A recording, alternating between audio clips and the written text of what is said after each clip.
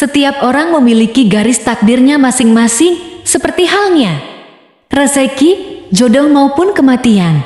Tidak bisa dipungkiri bahwa itu semua sudah diatur oleh Allah Subhanahu wa Ta'ala. Kita pernah melihat bahwa meskipun sebagian besar orang telah melakukan kerja keras agar mendapatkan rezeki atau kekayaan berlimpah, pada kenyataannya masih banyak yang belum mampu mendapatkan selayaknya yang diinginkan. Bagaimana cerita selanjutnya? Mari kita nonton bersama.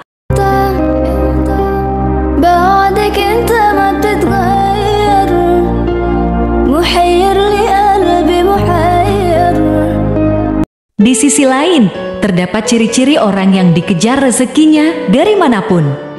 Asalnya, atau disebut sebagai orang yang telah dijamin rezekinya oleh Allah Subhanahu wa Ta'ala.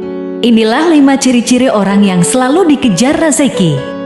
Satu orang yang suka bersedekah. Seperti yang kita tahu, bersedekah merupakan hal terpuji karena dengan memberikan sedikit harta dari penghasilan kita secara tidak, langsung kita telah membantu banyak orang. Termasuk doa orang yang teraniaya sangatlah mustajab di hadapan Allah. Apabila kita bersedekah dengan ikhlas, maka Allah akan mengganti berlipat-lipat, baik di dunia maupun di akhirat kelak. 2. Orang yang suka bersyukur.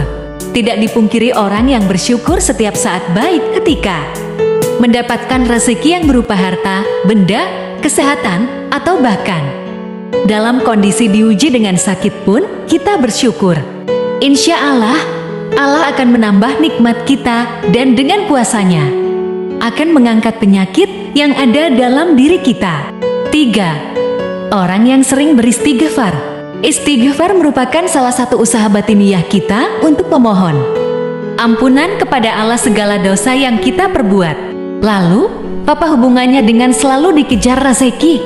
Orang yang selalu beristighfar dalam kondisi apa pun secara tidak langsung dapat membersihkan hatinya dari segala dosa dan kesalahan.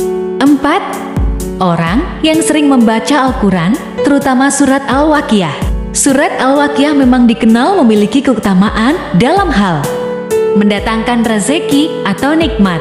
Lima orang yang suka berdoa dan selalu berusaha.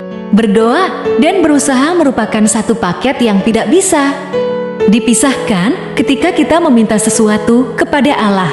Karena sangat mustahil orang yang hanya berdoa saja tanpa berusaha akan mampu mendapatkan apa yang diinginkan dalam doanya. Untuk itu, selain kita berdoa, juga berusaha untuk mendapatkan hasil dari doa yang telah kita panjatkan kepada Allah. Itulah lima ciri-ciri orang yang selalu dikejar rezeki menurut Islam. Cukup sekian dari channel ini, semoga ilmunya bermanfaat. Jangan lupa subscribe yang subscribe akan diberikan rezeki oleh